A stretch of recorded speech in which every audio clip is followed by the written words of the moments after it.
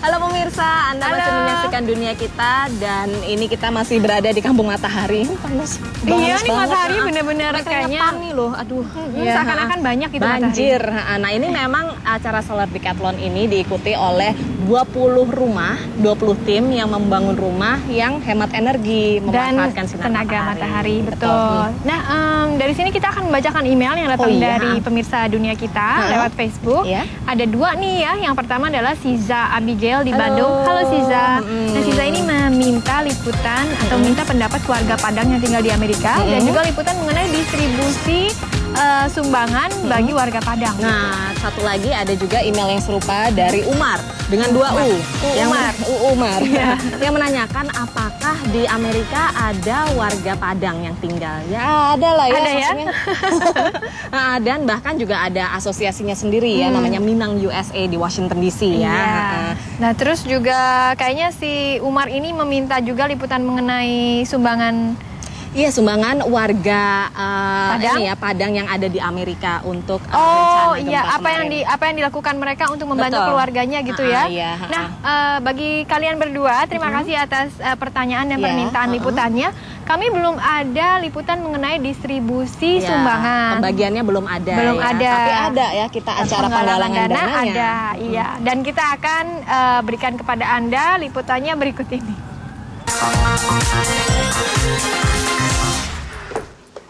Ini adalah suasana warung kaget di Virginia untuk menggalang dana bagi korban gempa di Padang, Sumatera Barat. Selain untuk beramal, warung ini mampu mengobati kerinduan pada makanan Indonesia. Saya belanja ikan, kikil. Saya belanja. Jarang-jarang bisa menemukan kalio jengkol dan berbagai makanan khas Minang lain di Amerika. Namun inilah yang disajikan di warung kaget di rumah Duta Mardin. Salah seorang pendiri organisasi masyarakat Minang di kawasan ibu kota Washington DC dan sekitarnya. Meski rumah keluarganya di Padang roboh akibat gempa, namun Duta mengaku tidak mencampur adukan kepentingannya pribadi dengan kepentingan penggalangan dana korban gempa. Masing-masing warga Minang di rantau ini banyak keluarganya juga yang jadi korban.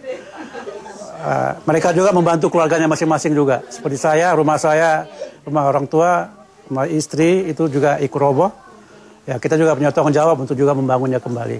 Tapi dalam secara komunal, secara masyarakat kita juga tanggung jawab untuk membangun juga secara umum gitu. Pendapat ini dibenarkan oleh Nani Afdal, yang juga berasal dari Minang dan rumah keluarganya di Padang pun roboh. Jadi ada skala prioritas mana yang eh, sangat diperlukan sekali dulu. Di luar ini, di luar ini kita tetap, ya pribadi tetap dan organisasi juga kita insya Allah jalankan. Warung Bang Duta ini dalam satu hari berhasil mengumpulkan 1.100 dolar serta sumbangan tunai sebesar 366 dolar.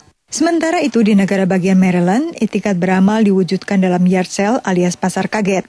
Pakaian, mainan, dan beragam barang bekas ini merupakan sumbangan warga.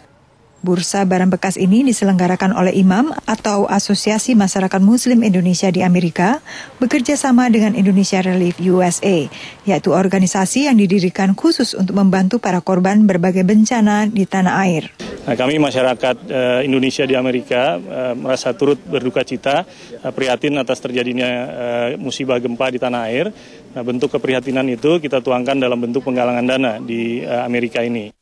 Penggalangan dana Minang USA dan Indonesia Relief USA merupakan cara warga rantau menunjukkan kepedulian pada saudara-saudara yang ditimpa musibah di tanah air. Dari Washington, tim VOA Indonesia untuk dunia kita.